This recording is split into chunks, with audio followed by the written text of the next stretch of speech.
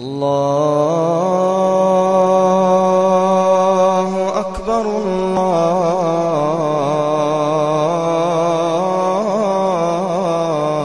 الله أكبر الله أكبر الله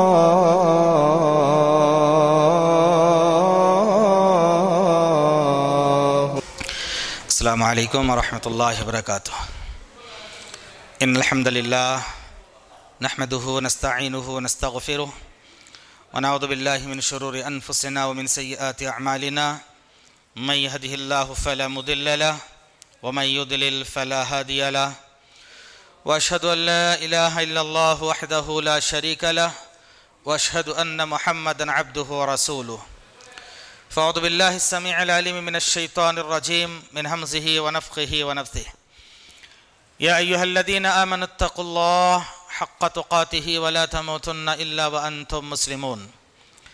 يا أيها الناس اتقوا ربكم الذي خلقكم من نفس واحدة وخلق منها زوجها وبث منهما رجالا كثيرا ونساء واتقوا الله الذي تساءلون به والأرحام إن الله كان عليكم رقيبا. يا أيها الذين آمنوا اتقوا الله وقولوا قولا سديدا.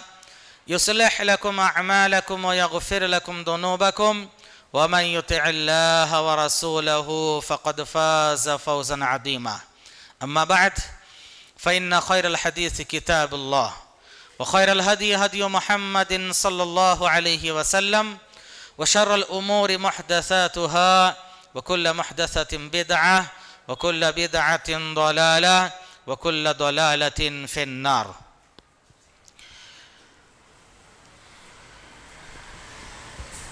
بزرگان محترم، عزیزان گرامی، پردہ نشین، خواتین ملت.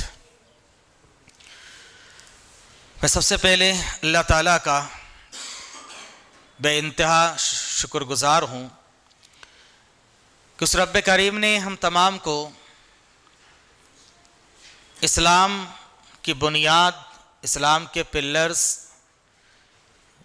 جن کو جان کے، مان کے، جن پر عمل پیرا ہو کر ایک انسان پکا، سچا مسلمان بنتا ہے، ان کو سیکھنے اور سکھانے کی توفیق نائد بخشی ہے۔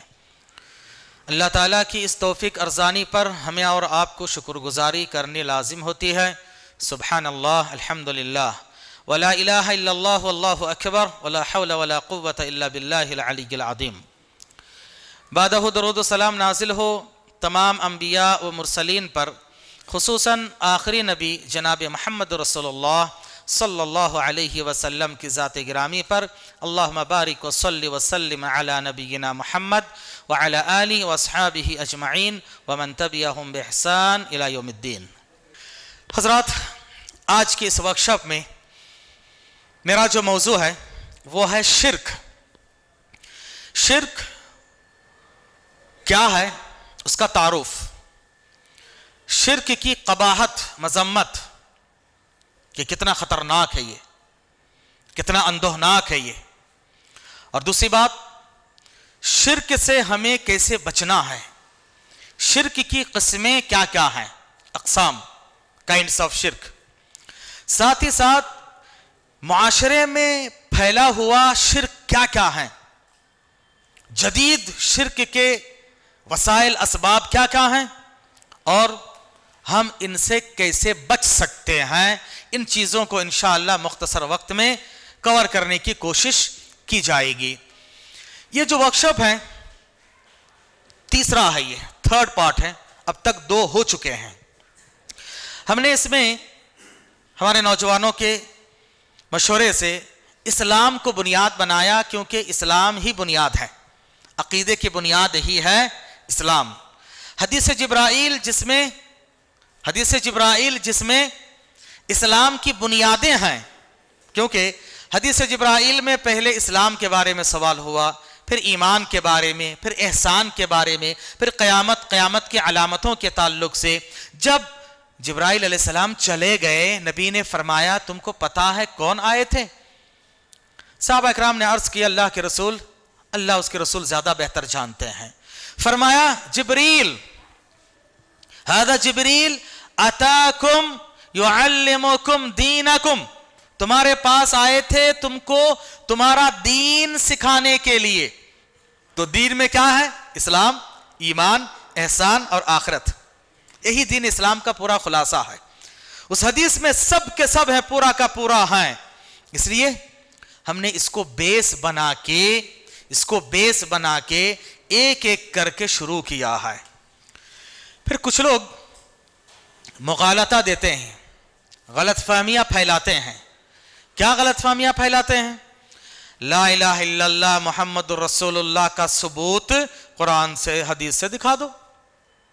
ایک جگہ، لا الہ الا اللہ محمد رسول اللہ کلمہ جو پڑھتے ہو، اس کا ثبوت دکھا دو۔ وقتی طور پر آدمی پریشان ہوتا ہے۔ کتنے ثبوت ہے اس کے؟ کتنے ثبوت ہیں؟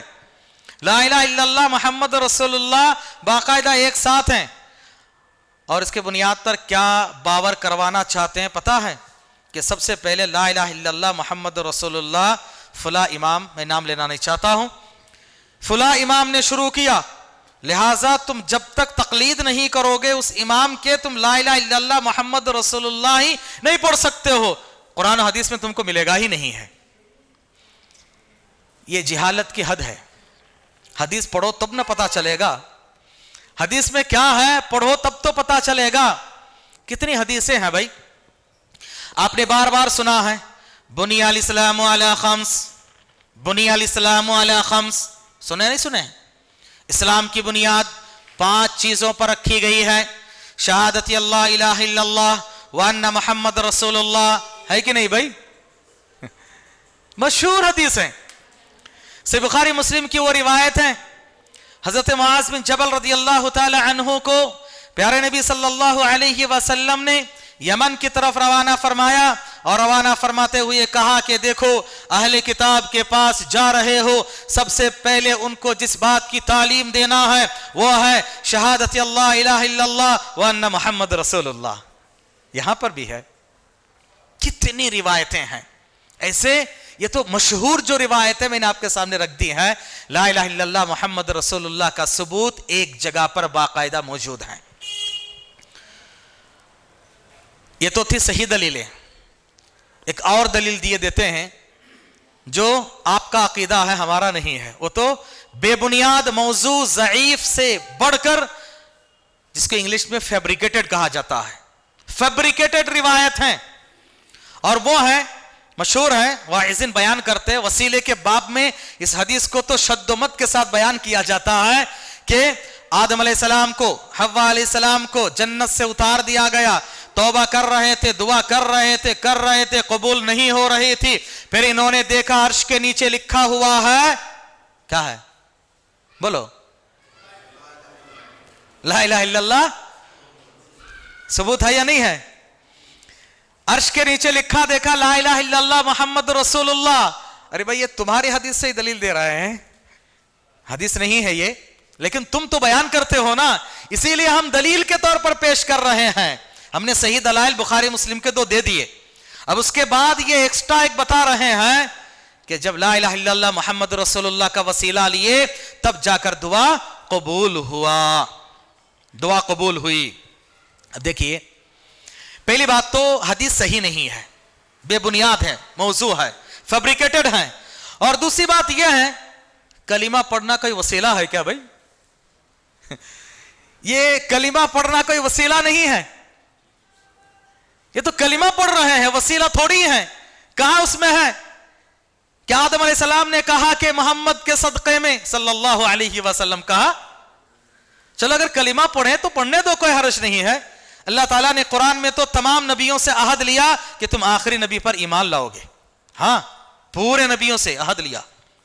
قیامت کا میدان ہوگا۔ نبی نے فرمایا لواء الحمد، تعریفوں کا جھنڈا میرے ہاتھ میں ہوگا اور میرے جھنڈے تلے تمام انبیاء ہوں گے۔ لوگ کہتے ہیں تمہارے امام کون ہے کس کے ساتھ اٹھو گے ہمارے امام امام اعظم ہے محمد عربی صلی اللہ علیہ وسلم، جن کے جھنڈے تلے ائمہ تو دور کی بات ہے، پورے انبیاء ہوں گے۔ پورے انبیاء ہوں گے۔ بیت المقدس میں نبی نے تمام انبیاء کی امامت کروائی ہے۔ ہم ایسے امام کو مانتے ہیں اور ان کی اتباع کرتے ہیں، تقلید نہیں، اتباع کرتے ہیں۔ اور دوسری بات یہ ہے، یہ جو حدیث ہے، لا الہ الا اللہ کا وسیلہ یہ قرآن آیت کے خلاف ہے۔ قرآن آیت کے خلاف ہے۔ سورہ بقرہ میں اللہ تعالیٰ نے فرمایا، وَتَلَقَّى آدَمُ مِن رَبِّهِ كَلِمَاتٍ فَتَابَ عَلَيْهِ إِنَّهُ هُوَ التَّوَّابُ الرَّحِيمُ۔ فَتَلَقَّى آدَمُ مِن رَبِّهِ كَلِمَاتٍ۔ آدم علیہ السلام اپنے رب سے چند کلمات حاصل کیے اور ان کلمات کو پڑھ کے اللہ تعالیٰ کو یاد کیے۔ فتاب علیہ اللہ تعالیٰ نے ان کی توبہ قبول کر لی۔ کیا کلمات؟ کیا کلمات بھائی؟ کون سے کلمات حاصل کیے تھے؟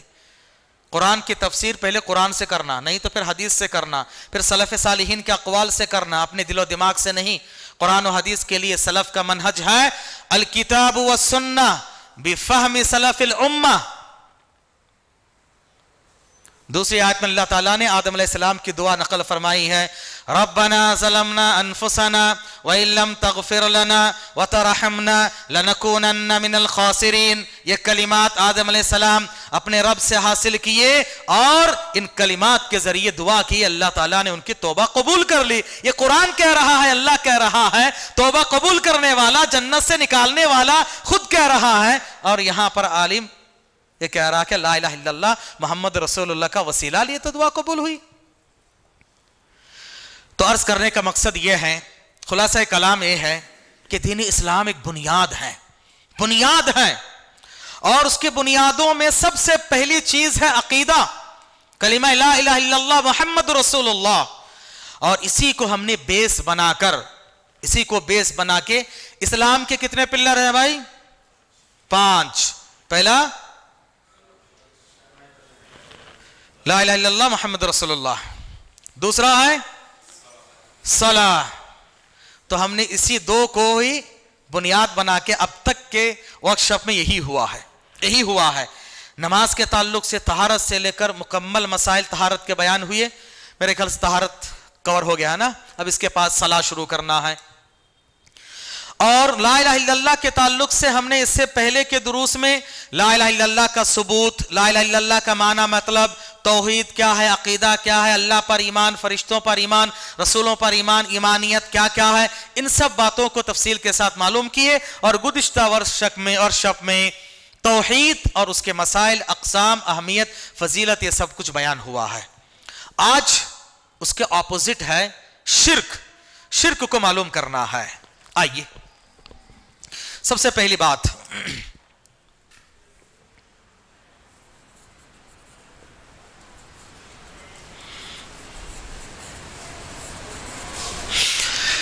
شرک شین راکف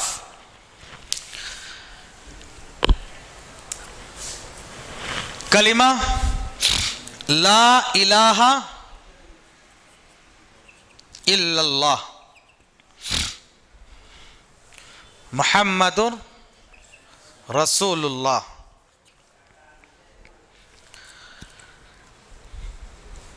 کتنے وہ کتنے لیٹرس ہیں؟ کاؤنٹ کر کے دیکھیں۔ کتنے لیٹرس ہیں؟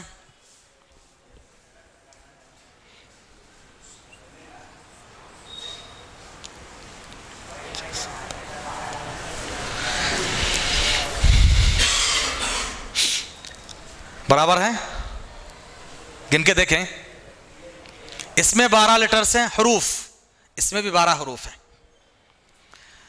بارہ اور بارہ ملائیں گے تو چوبیس۔ دن اور رات چوبیس گھنٹے کے ہوتے ہیں۔ دن اور رات چوبیس گھنٹے کے ہوتے ہیں۔ لا الہ الا اللہ محمد رسول اللہ میں۔ اب دیکھیے، لا الہ الا اللہ محمد رسول اللہ، یہاں تک کوئی ایسا حرف ہے جس میں نقطہ ہے، ڈاٹ ہے۔ جیسے با کے نیچے ایک ڈاٹ، تا کے اوپر دو ڈاٹ، سا کے اوپر تین ہے، جم کے نیچے ایک ہے، خا کے اوپر ایک ہے، زا کے اوپر ایک ہے۔ ایسا کچھ ڈاٹ والا ہے؟ کوئی نقطے والا حرف ہے؟ نہیں ہے نا؟ غور سے دیکھیں۔ نہیں ہے۔ کیا مطلب ہے؟ سمپل مطلب ہے۔ چوبیس گھنٹہ، بارہ اور بارہ، چوبیس گھنٹہ۔ اللہ اس کے رسول کے طریقے پر چلو گے بغیر دھبے کے، تو جنت پہ چلے جاؤ گے۔ زندگی کامیاب ہے سکسس ہے۔ سمپل سی بات ہے۔ سمپل سی بات ہے۔ بغیر دھبے کے ایک ڈاٹ والا حرف نہیں ہے اس میں۔ بغیر نکتے کے، نقطہ اور دھبے کے اگر تم نے بارہ بارہ چوبیس گھنٹہ گزار دیا، ایک مومن اگر دعا پڑھ کے سوتا ہے، یہ سوچ کے فجر میں مجھے جاگنا ہے تو اس کا سونا بھی عبادت ہے۔ سونا بھی عبادت ہے۔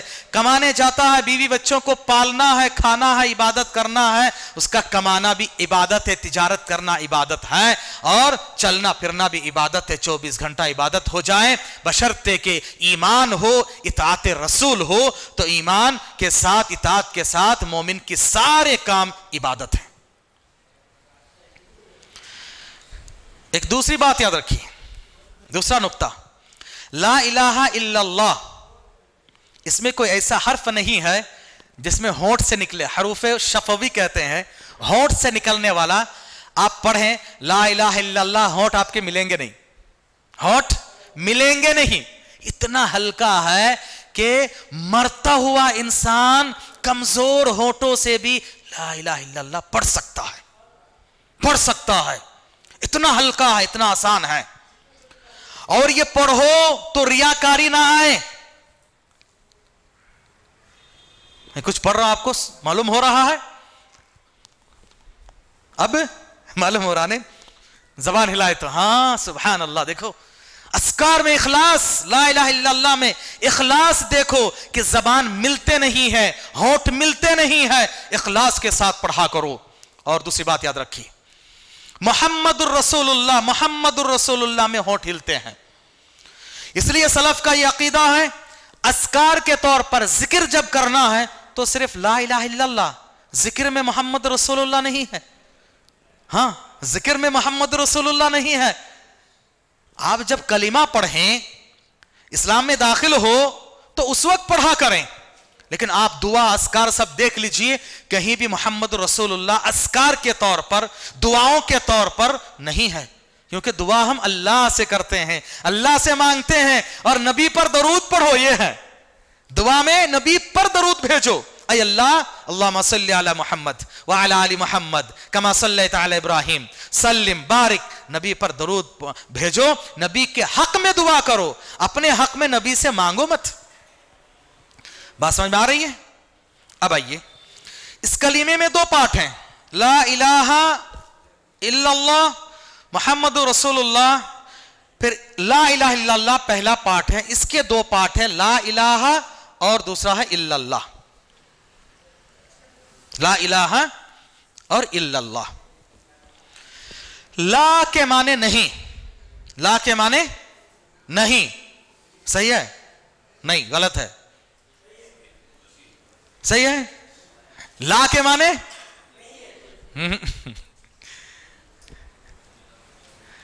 لا کے مانے جی۔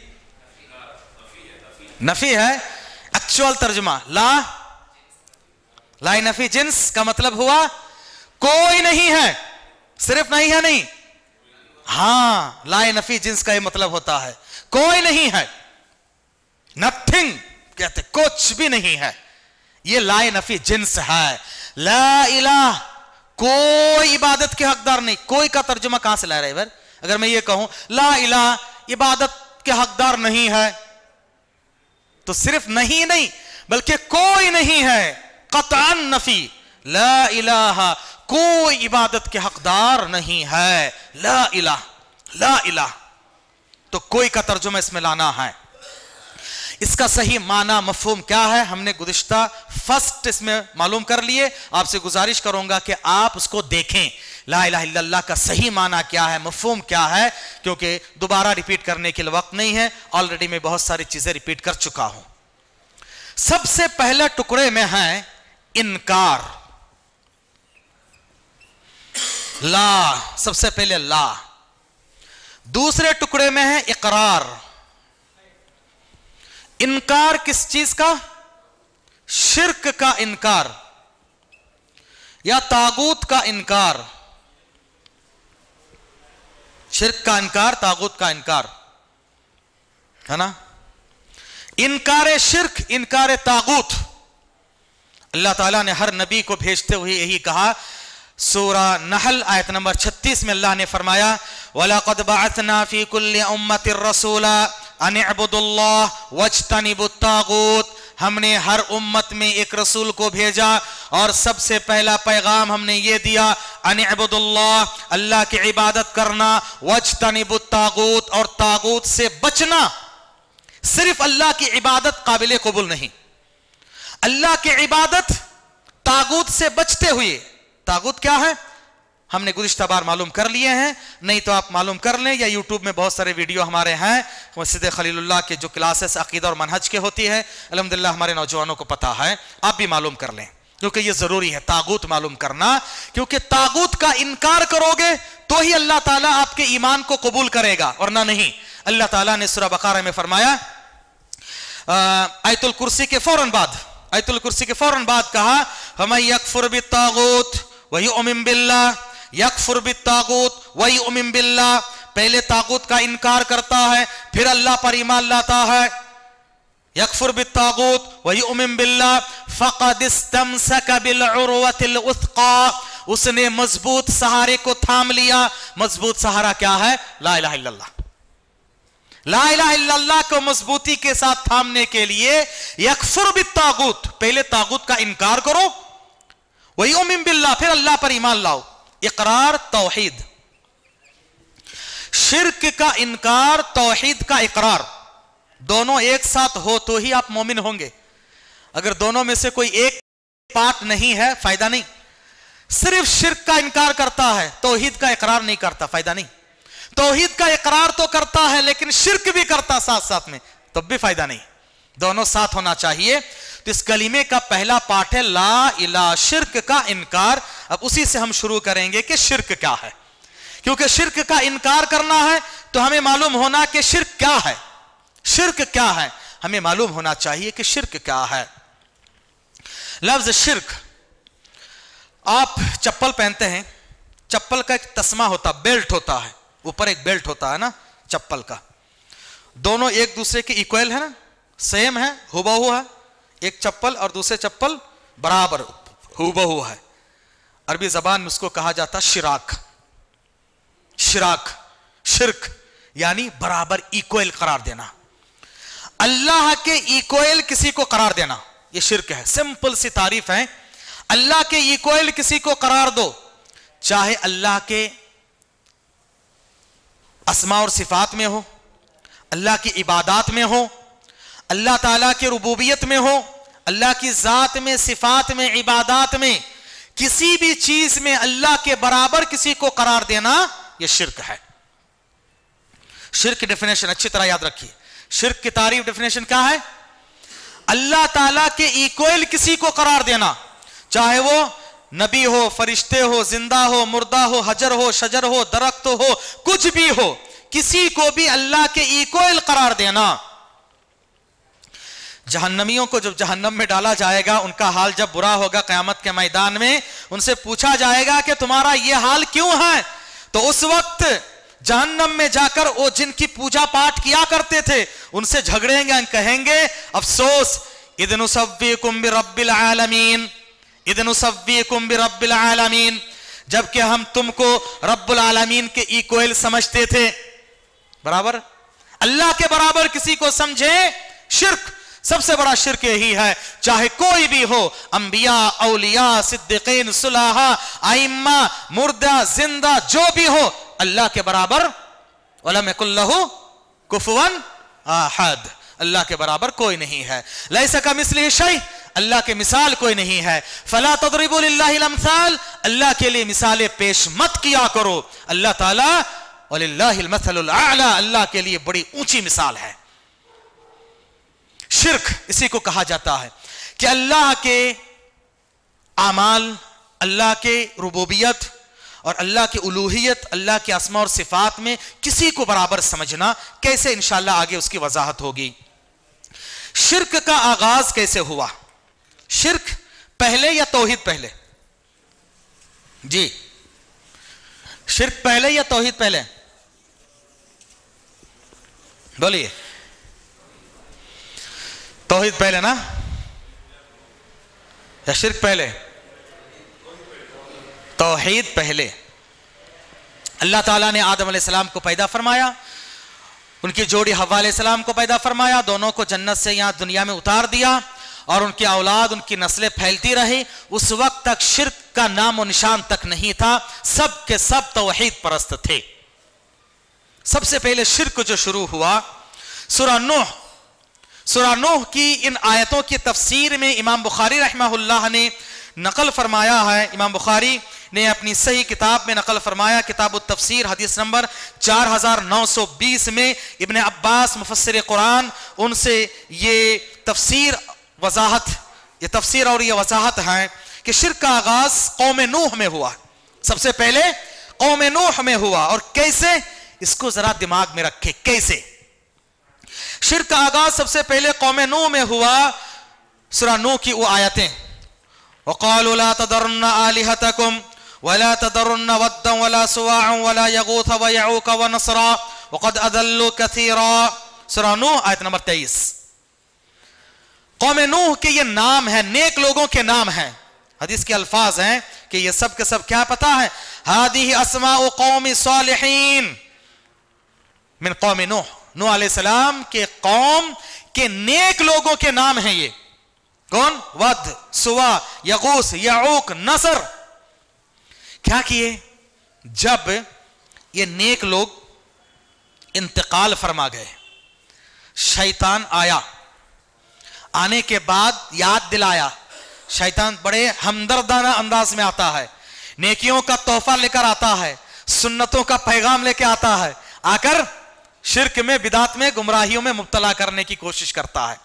شیطان آ کے کہا، صرف شہد لگا کے چلا گیا۔ یہ ود سوا یغوس یعوق نصر، کیسے تھے یہ لوگ؟ بڑے نیک لوگ تھے۔ اللہ سے دعائیں کرتے، اللہ ان کی دعاؤں کو سن لیتا۔ تم ہو عجیب لوگ؟ بڑے بد بد کردار ہو گئے ہو۔ نکوکاروں کو یاد ہی نہیں کرتے ہو۔ اپنے ان آبا و اجداد کو یاد کرو بھائی۔ کیسے کرنا؟ جو جاہل ہوتا ہے نا، اس کو پتا نہیں رہتا۔ کیا کرنا سو؟ ہاں۔ اب سامنے والا اس کو ٹویسٹ کرتا۔ ایسا کرو جی ویسے کرو جی۔ ہاں۔ یہ ایسا نہیں ہونا چاہیے۔ اب ایسے ہی ہوا، شیطان نے آ کے گمراہ کیا۔ اب ان کو معلوم نہیں، جہالت، علم نہیں۔ علم نہیں تو کیا کرتے؟ کیا کرنا حضرت؟ تمہیں بولو سو۔ کیا کرنا حضرت؟ تمہیں بولو۔ اب حضرت، لمبے چوڑے چبا کبا لگا کے حضرت آئے شیطان کے بھیس میں، شیطان انسانی بھیس میں آ کر کہا، نیک لوگ بھائی، ان کی تصویریں بناؤ، تصویریں بنا کو گھر میں رکھو۔ یہاں ڈور پہ نکلتے وقت دیکھو ہاں نیک لوگ تھے۔ اسے نیکی کرتے تھے، ہمیں بھی کرنا، ہمیں بھی کرنا۔ نیکیوں کا تصور آئے گا، نیک لوگوں کو دیکھ کر تمہیں نیکیوں کا جذبہ آئے گا، یہ کرو۔ دیکھے شیطان کیسا کرتا؟ ہاں اچھا ہے نا بھائی بول کے تصویریں بنا لیے۔ تصویریں بنا کے رکھنے لگے گھروں میں، دکان میں، مکان میں، سب جگہ پر خیر و برکت کے لیے رکھنے لگے۔ یاد کریں گے، نیک لوگ نیک لوگ۔ اس کے بعد یہ جنریشن ختم ہو گئی۔ دوسری جنریشن آئی، دوسری نسل جب آئی، ان کے پاس شیطان آیا۔ ہمدردانہ انداز میں، نیکیوں کا تحفہ لے کر، بڑے پیر کی شکل میں آیا۔ معلوم ہے یہ فوٹو سب کیا ہے نیک لوگ تھے۔ ہمارے باپ دادا ان کو یاد کرتے تھے۔ جی یاد کرنے کے ساتھ ساتھ ان کی پوجا بھی کرتے تھے، معلوم تم نا؟ ان کو پکارتے تھے، ان کو پکارتے سو، ان کو پکارتے انہوں اللہ تعالیٰ سے تم نہ دلاتے۔ ہاں ایسا کیا؟ ہاں جی۔ اچھا تو کیا کرنا؟ دیکھے جاہل جو ہوتا ہے نا، وہ آخر میں پوچھتا کیا کرنا؟ اور یہ ان کا بھولا پن بھی ہے۔ عوام کل انعام، عوام کے دل میں جذبہ ہوتا ہے۔ اور ہم جو ہے آپ لوگوں کو ٹویسٹ کرتے ہیں۔ اللہ ہماری حفاظت فرمائے۔ تو ٹویسٹ کر دیا۔ صرف گھر میں رکھ لے کچھ ہے۔ مسجد میں لے کے جاؤ جی۔ وہاں پر بھی رکھو، وہاں پر بھی یاد کرو۔ ہاں اب گھر سے لے کر مسجد میں بھی تصویریں آ گئی۔ چھوٹے چھوٹے بنائے، بڑی بڑی مورتیاں بناؤ۔ یاد کرو ان کو۔ ان کو پکارو۔ نیک لوگ ہیں۔ یہ اللہ تعالی سے تمہاری سفارش کر کے تم کو دے گا۔ ان کے وسیلے سے مانگو۔ تو اللہ تعالیٰ تم سے خوش ہو جائے گا۔ اچھا اب شروع ہو گئی بت پرستی۔ بت پرستی شروع ہو گئی۔ اللہ کو چھوڑ کے ان سے مانگنا شروع ہو گیا۔ ان کے نام سے نام رکھنا شروع کر دیا ہاں؟ وہ سمو بھی اسماعیم حدیث کے الفاظ ہیں۔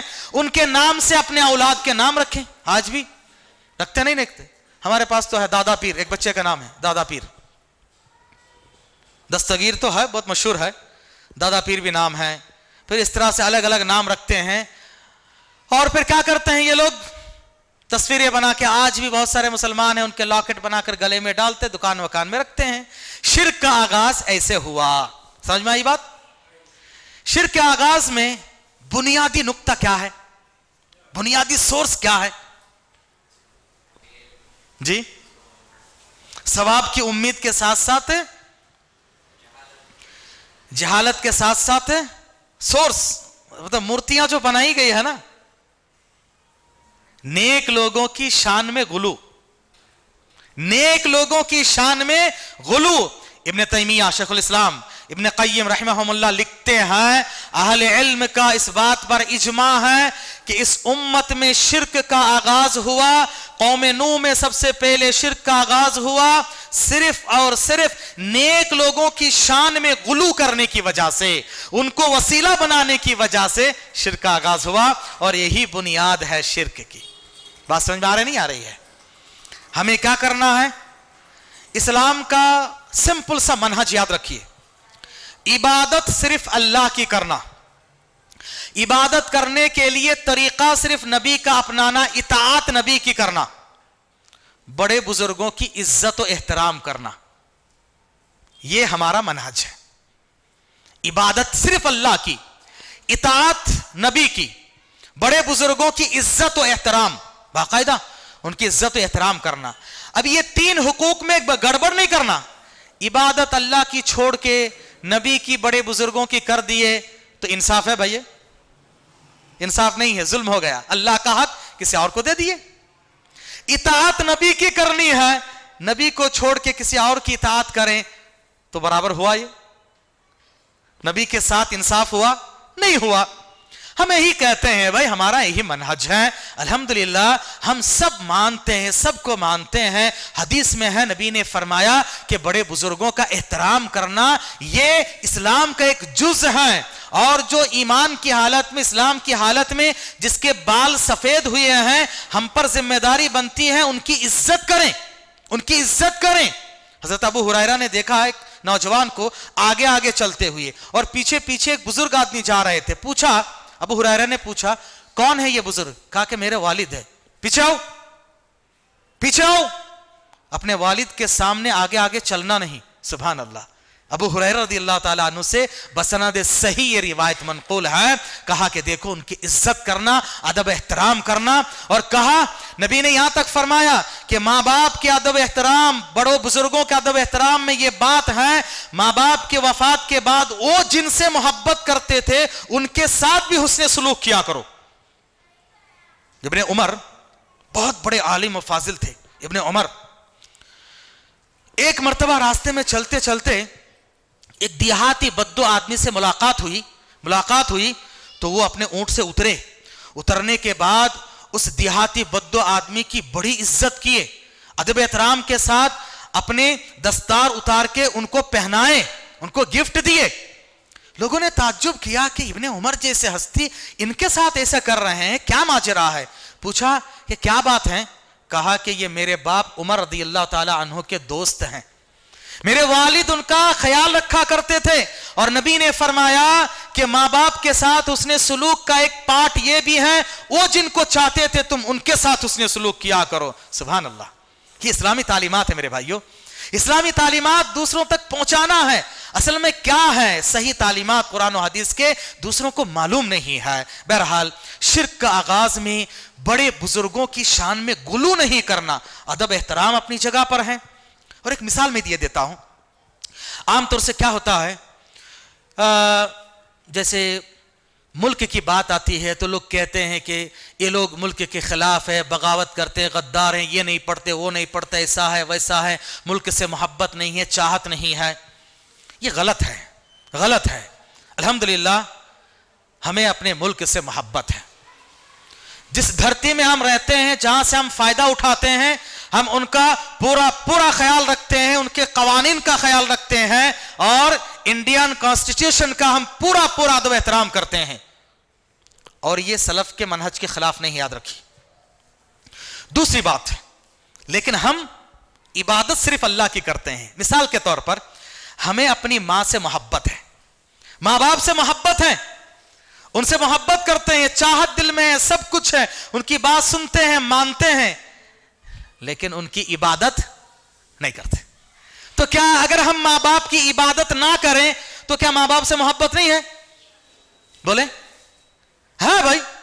تو ایسے ہی اگر ہم وطن کی عبادت نہیں کرتے ہیں، وطن سے محبت ضرور کرتے ہیں، جیسے ماں باپ سے محبت کرتے ہیں، لیکن ان کی عبادت نہیں کرتے، کیونکہ عبادت ان کا حق نہیں ہے۔ عبادت تو اللہ کا حق ہے، کیونکہ ہمارا نام عربی میں کیا ہے؟ بندہ بندہ کو عربی میں کیا کہتے ہیں؟ عبد، ہے نا؟ عبد، عین، با، دال، عبادت۔ عبد، بندہ۔ عبادت، بندگی۔ عبد، ہم ہیں عبد۔ عبد کا کام ہے عبادت کرنا۔ عبد کا کام ہی ہے فین کا کام کیا ہے؟ گھومنا۔ فین کو اس وقت تک فین کہا جائے گا۔ ہاں صحیح سلامت ہے، اپنی ڈیوٹی ادا کر رہا ہے ایک دم ایکٹیو ہے اچھا ہے آپریٹو ہے، سب کچھ ہے۔ کب تک؟ جب تک وہ پھرتا رہے۔ پھرنا بند ہو جائے تو خراب ہو گیا ہے۔ اس کو اب وہ فین کہلانے کا حقدار نہیں ہے۔ تو بندہ بندہ کہلانے کا حق اس وقت تک رکھتا ہے جب تک وہ بولے، بندگی کریں۔ عبد عبد اس وقت تک ہے جب تک وہ عبادت کریں عبادت کریں۔ تو چونکہ یہ ہماری ڈیوٹی ہے، عبادت کس کی ہے؟ جس نے ہم کو پیدا کیا ہے۔ اور اس کو سمپل سی بات ہے، اللہ تعالیٰ نے قرآن مجید کے پہلی آیت میں فرمایا الحمد رب العالمین۔ پورے اسلام کا عقیدہ ایک ہی آیت میں ہے۔ الحمد للہ رب للہ، الحمد للہ، رب العالمین۔ تمام تعریفیں ہر طرح کے عبادت و بندگی للہ، اللہ کے لیے ہے۔ اللہ کون ہے؟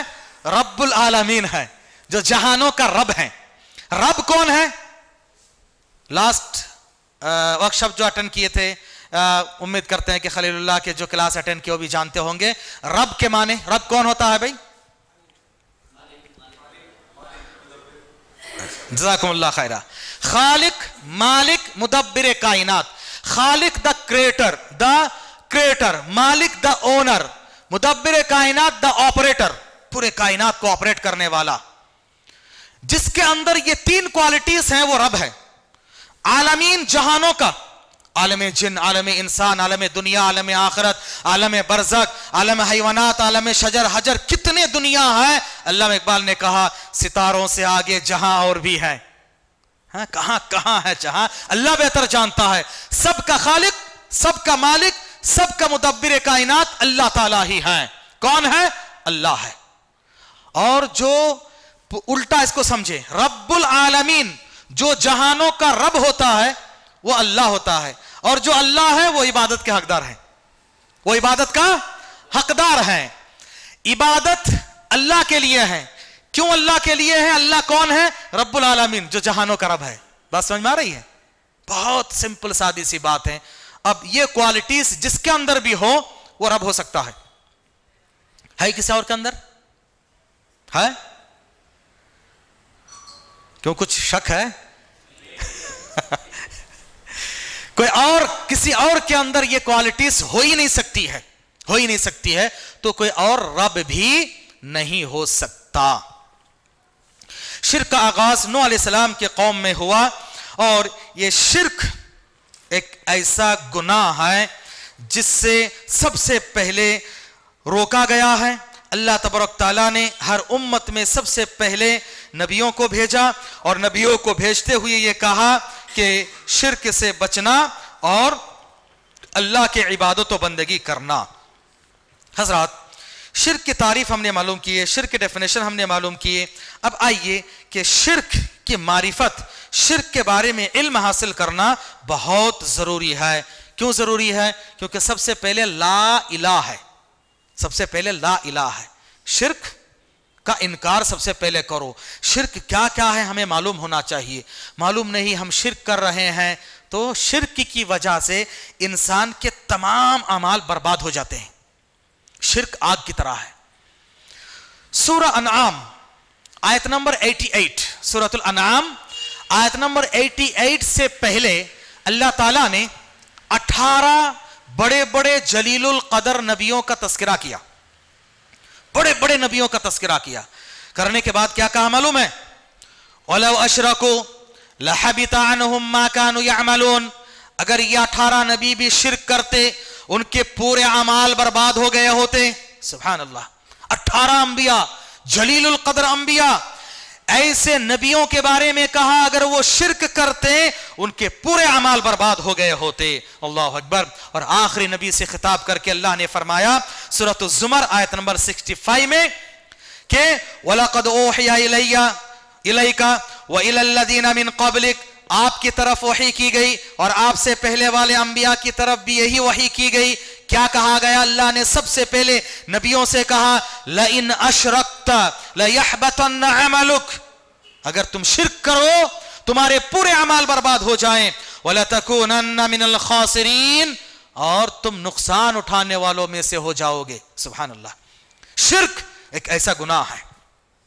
شرک سب سے بڑا ظلم ہے۔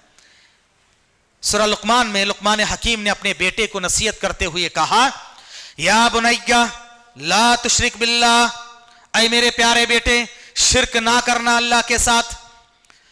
یہ ایک ایسی بہترین آیت ہے سورہ لقمان، ہر ایک کے لیے، باپ کے لیے، اولاد کے لیے، ٹیچر کے لیے، سٹوڈنٹس کے لیے، ہر ایک کے لیے بہترین سورہ ہے۔ میں تو کہوں گا کہ سورہ لقمان پہ ورکشاپ رکھنا چاہیے۔ دیکھیے سائیکالوجک کا کتنا خیال رکھا گیا؟ میں اسکولوں میں ٹیچر ٹریننگ میں بھی بتاتے رہتا ہوں کہ سب سے پہلے لقمان نے کہا، یا بنیا اے میرے پیارے بیٹے۔ پہلے سامنے والے سٹوڈنٹس کے، ان کے کنسنٹریشن کو اپنی طرف متوجہ کرنا۔ ان کو پہلے اپنے سے جوڑو۔ پورے ماحول کو اپنی طرف جوڑو پہلے۔ سوال کر کے ان کے دماغ کو جھنجوڑو پھر جواب ڈالو، دماغ میں بیٹھ جائے گا۔ یا بنیا، اے میرے پیارے بیٹے، لا تشرک باللہ، اللہ کے ساتھ شرک نہ کرنا۔ اور کسی بھی بچے کو آپ پوچھئے، یہ مت کرو، فوراً اس کے دماغ میں سوال آئے گا، کئی کو؟ ہر بچے کے مزاج میں ہے یہ۔ کئی کو ابو نہیں کرنا سو؟ ہے نا؟ پہلے ہی آتا۔ اس کے بعد لقمان حکیم نے کہا، ان شرک لظلم اے بیٹے، شرک نہ کرنا۔ تمہارے دماغ میں جو جواب سوال آئے گا، اس کا جواب بھی میں دیے دیتا ہوں، کیونکہ شرک سب سے بڑا ظلم ہے۔ شرک سب سے بڑا ظلم ہے۔ اللہ کا حق کسی اور کو دے رہے ہو آپ کا حق میں کسی اور کو دے دوں؟ بیوی شوہر کا حق کسی اور کو دے دے؟ شوہر بیوی کا حق کسی اور کو دے دے؟ اولاد ماں باپ کا حق کسی اور کو دے دے؟ والدین اولاد کے درمیان انصاف نہ کریں، کسی اور کو حق دے دیں ظلم ہے ہی نہیں ہے۔ جب دنیاوی اعتبار سے ہم برداشت نہیں کرتے، اللہ کا ہی کو برداشت کرے گا بھائی۔ ہے نا؟ وہ بھی اللہ کا کرم ہے کہ اللہ تعالیٰ کے ساتھ اتنا سب کرنے کے باوجود بھی اللہ تعالیٰ دنیا کو قائم و دائم رکھا ہے۔ قائم و دائم رکھا ہے۔ سبحان اللہ۔ اور یہ شرک ناقابل معافی جرم ہے۔ ایسا گناہ ہے جو خالص توبہ کے بغیر معاف نہیں ہوتا۔ اللہ تعالیٰ نے کئی صورتوں میں سورہ نساء اور دیگر صورتوں میں فرمایا ان اللہ لا یغفر ان یشرک بھی ویغفر ما دون ذالک لمن یشاء یقینا اللہ تعالیٰ ہرگز ہرگز معاف نہیں کرتا کہ اللہ کے ساتھ کسی کو شریک ٹھہرایا جائے اور شرک کے علاوہ دوسرے گناہوں کو دوسرے گناہوں کو چاہے تو معاف کریں. ہاں ہم سمجھتے ہیں، ہمارا ایمان عقیدہ صحیح ہے، ہم شرک نہیں کرتے، کیا بھی کرو معاف؟ نہیں میرے بھائیو، اللہ چاہے تو معاف کرے گا۔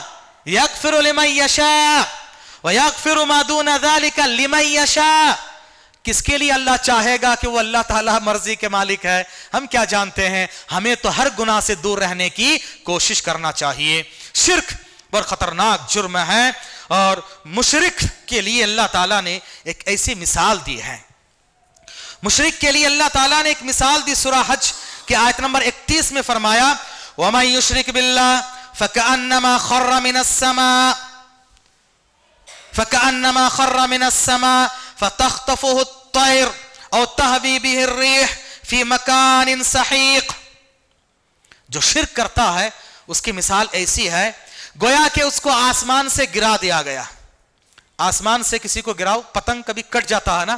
دیکھیں، کیسے ٹامک ٹویا کھاتے کھاتے کہاں جائے گا پتا نہیں۔ کہاں اٹکے گا، کہاں جائے گا، کس کے ہاتھ لگے گا، کچھ پتا نہیں۔ گویا کہ شرک کرنے والا ایسا ہوتا ہے، آسمان سے اس کا تعلق کٹ گیا ہے، اب وہ دنیا والوں کے سامنے پھر رہا ہے فلا کے پاس فلا کے پاس فلا کے پاس۔ کبھی یہاں، کبھی وہاں ٹھوکرے کھاتا ہے۔ یہ کرو تو اچھا ہوگا، وہ کرو تو اولاد ملے گی۔ وہاں جاؤ تو شفا ملے گی۔ یہ کرو، یہاں، وہاں یہاں، وہاں ٹامک ٹویا کھاتے رہتا ہے۔ گویا کہ پرندے اس کو نوچ نوچ کے کھا رہے ہیں۔ پرندے، یہ شیطان نما پرندے بہت سارے ہیں۔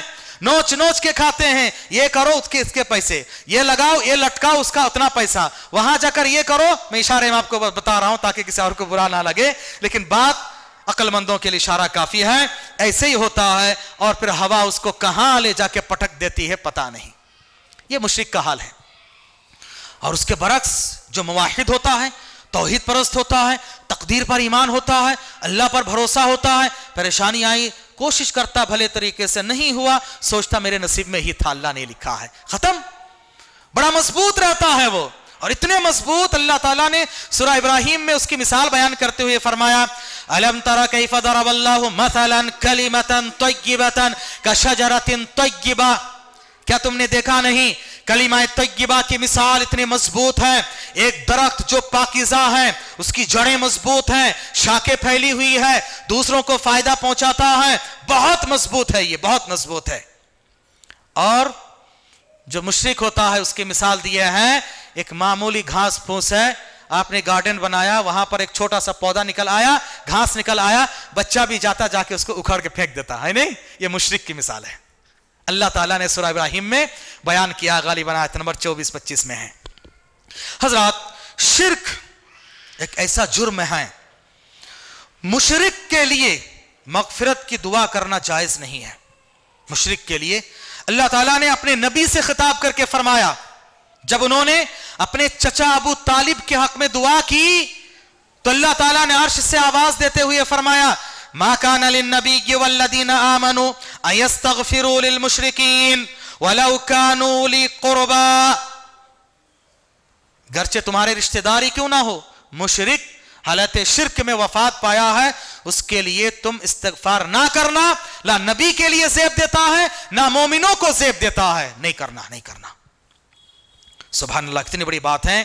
اور دیکھیے، مشرک قیامت کے میدان میں نبیوں کی سفارش سے محروم ہوگا۔ چاہے اس کے بیٹے نبی ہو، چاہے اتنے قریبی رشتہ دار نبی ہو۔ سی بخاری کی حدیث ہیں۔ غور سے سنیں اس کو۔ ابراہیم علیہ السلام، کائنات میں سب سے اونچا مقام محمد عربی صلی اللہ علیہ وسلم کا ہے۔ ان کے بعد ابراہیم علیہ السلام کا ہے۔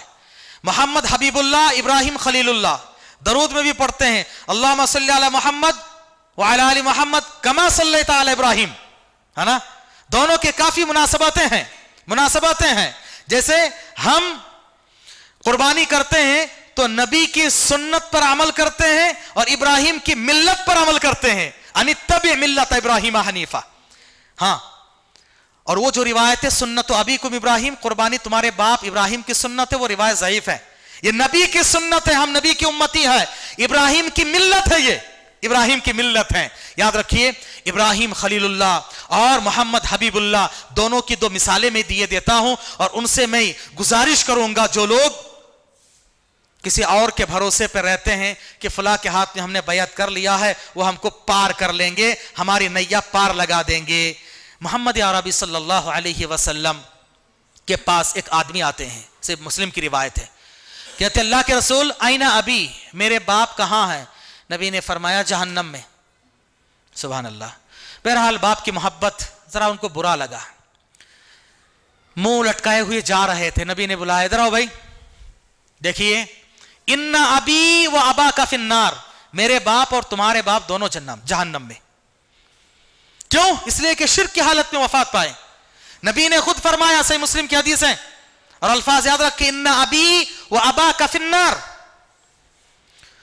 نبی کی والدہ کی مثال لے لیجیے مسد احمد، ابو کی روایت ہے صحیح درجے کی روایت ہے آپ صلی اللہ علیہ وسلم ایک مرتبہ ایک سفر میں تھے، سفر میں تھے، ایک جگہ پر پڑاؤ ڈالے ٹینٹ لگائے۔ تھوڑی دیر میں زار و قطار رو رہے تھے، زار و قطار رو رہے تھے۔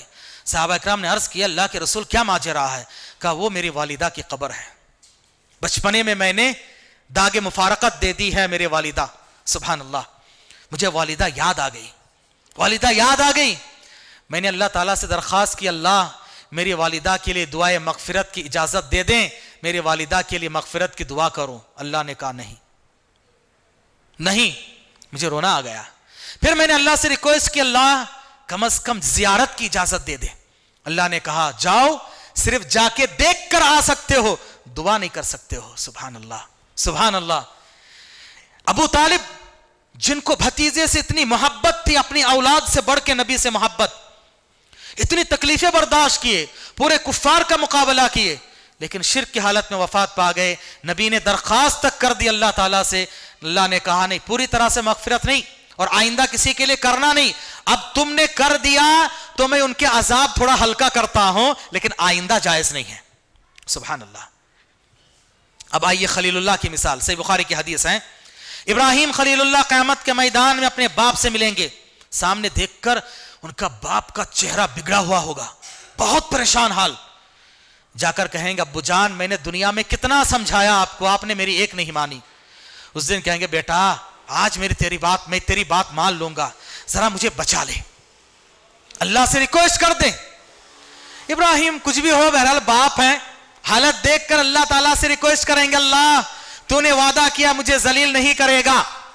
اتنے بھری محفل میں آدم سے لے کر قیامت کی صبح تک کے انسان ہیں اور ان کے درمیان میرے باپ جہنم میں جائیں، اس سے بڑھ کے رسوائی اور ذلت کیا ہو سکتی ہے؟ اللہ میرے باپ کو بچا لے۔ دعا کس نے کی؟ سفارش کس نے کی؟ ابراہیم خلیل اللہ اللہ اکبر۔ کیا مقام ہے؟ اللہ نے کتنا چاہا ان کو، لیکن مشرق کے حق میں اللہ تعالیٰ جبار و قہار ہے۔ کہا کہ ابراہیم، باپ تمہارا ہوگا، میرا دشمن ہے وہ۔ میرا دشمن ہے۔ میں اس کو جنت میں داخل کرنے والا نہیں۔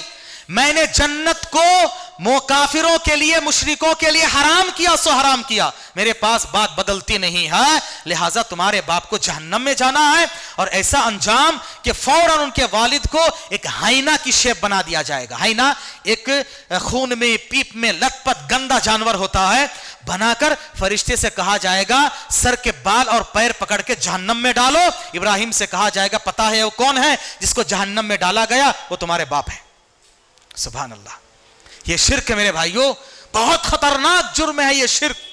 اللہ تعالیٰ شرک کو کبھی معاف نہیں کرتا ہے اور شرک کرنے والا قیامت کے میدان میں نبی کی سفارش سے محروم رہے گا۔ اللہ تعالیٰ کے رسول صلی اللہ علیہ وسلم نے فرمایا کہ اسعد الناس بشفاعت یوم القیامہ من اقرب التوحید جس نے توحید کا اقرار کیا، وہ قیامت کے روز میری سفارش کا حقدار ہوگا اور جس نے شرک کیا، میری سفارش سے وہ محروم رہے گا۔ اللہ نے ہر نبی کو دعا دیا ہے۔ میں نے یہ دعا کو اپنی امت کے لیے اٹھا کے رکھا ہے۔ ابھی تک وہ دعا میں نے نہیں کی قیامت کے دن کروں گا اللہ میری امت میں سے جس نے شرک نہیں کیا، اس سب کو معاف کر کے جنت میں داخل فرما دے۔ اور جس نے شرک کیا، میری یہ دعا، اس سے وہ محروم رہے گا۔ اللہ تعالیٰ سے میں دعا کرتا ہوں۔ اللہ تبرک تعالیٰ ہمیں اور آپ کو شرک جیسے خطرناک، اندوہناک گناہ سے بچائے۔